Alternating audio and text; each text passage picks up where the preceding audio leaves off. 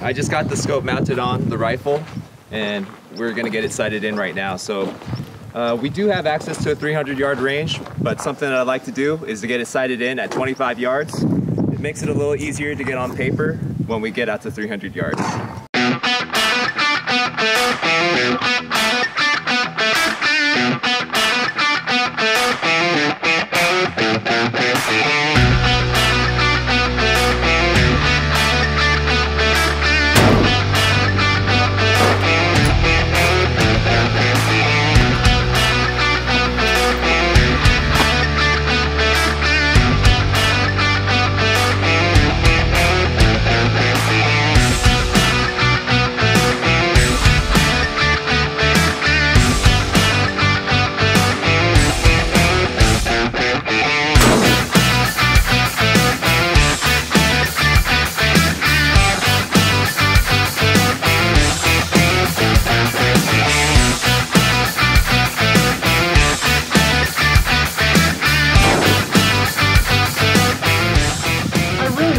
Sight.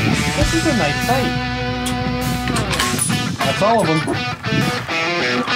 Now, with that we've moved the target after 300 yards, we can fine tune or zero at 300 yards after sighting it at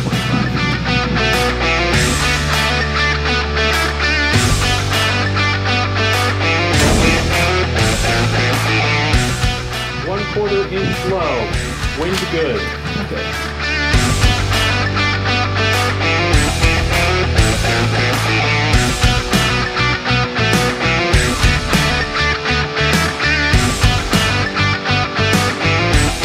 And for you folks looking through the spotter scope right now, you'll notice that there's a heck of a lot of mirage.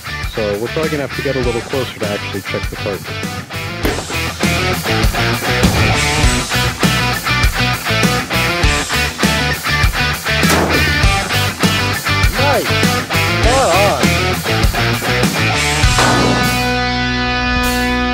We just came back from 300 yards.